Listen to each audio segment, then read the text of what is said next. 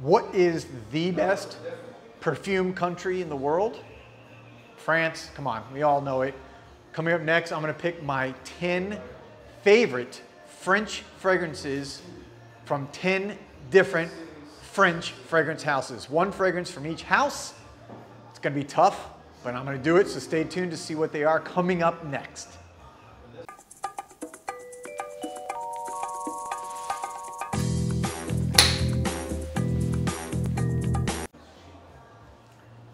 Welcome back to Joel the Nose and gonna do a second video in a series of one I did before where I picked my top five Italian fragrances from five different Italian niche houses because, well, Italian niche houses are my favorite.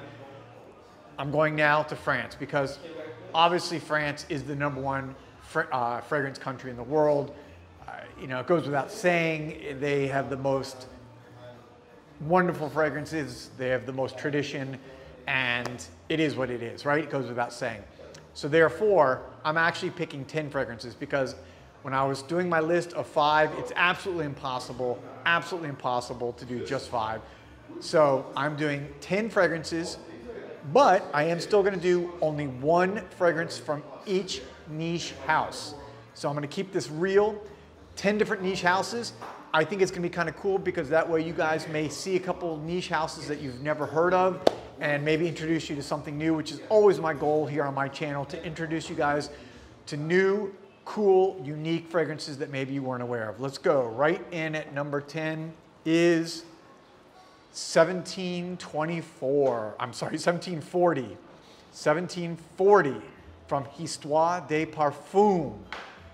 This is, look at that juice. Such can see it better there. Such a wonderful fragrance. It is cedar, patchouli, leather. It is so intense. It is so rich. It is so decadent. To me, this just absolutely signifies, typifies French perfumery at its best. This is a great niche house for those of you who have not smelled Histoire parfums before. Get your nose on it. All right, number nine from Memo Paris. This is Granada. Granada is this beautiful pomegranate, orange blossom, jasmine fragrance. Perfect for the summer, ah, for the spring, summer months coming up here. When you're talking orange fragrances, to me, this is one of my favorite all-time orange citrus fragrance. Beautiful unisex fragrance. Again, Granada from Memo Paris. Beautiful fragrance course, beautiful French fragrance. All right, coming in number eight. This is, van make sure I got it, yeah. This is Vanille Tonka from Nicolai Parfums. I love this one, it's in my collection. This is a beautiful incense vanilla Tonka masterpiece.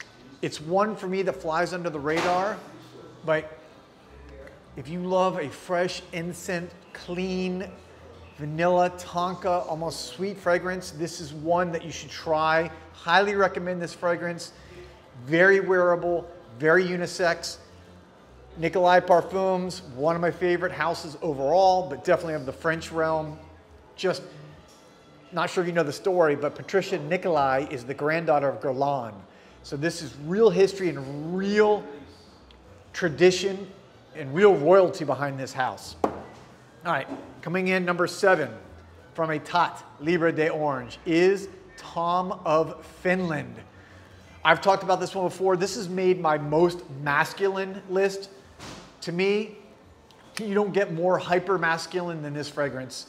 It's it, the whole fragrance is made off of Tom of Finland, which is this kind of mythical, mas- hyper masculine uh, character in literature. This one is just, it's got birch, it's got pine, it's got cypress, vetiver, ambergris, all these just really intense, rich, dark, deep elements that again makes it very masculine. I would not recommend this one for women, but for men, if you really want to make an impression, especially on a date or maybe a, first meeting, this is a great fragrance. It will definitely leave an impression. That's number seven, Tom of Finland from a Etat Libre d'Orange. All right, number six is Elysium. Elysium from, of course, Roja Dove. Couldn't have a top 10 French perfumes without Roja Dove. This is his take on a fresh citrusy, citrusy grapefruit, kind of pineapple-ish. Ah, I mean, it's just, for me, when I think of Roja Dove doing a citrus kind of freshy fragrance, it's Elysium. It's very popular. Of course, this is part of the Parfum, um, the, the Colo Parfum Cologne collection that came out a couple years ago. So again, for those just so you know, cologne means the cologne style, meaning it's a more fresh, citrusy, lighter top, but it's still a parfum, eau de parfum concentration. So you still get high quality oil, but with a lighter citrusy top. All right, Coming in now, number four. Number four, Santal Nobile from Maitre Parfumeur et Gantier.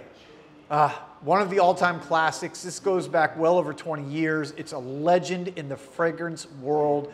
It's got coffee, it's got spicy notes, spices, it's got sandalwood, but really is, this is one of those fragrances that should be in every person's collection. It just is a legend. It is something that, oh, that spicy coffee note at the top.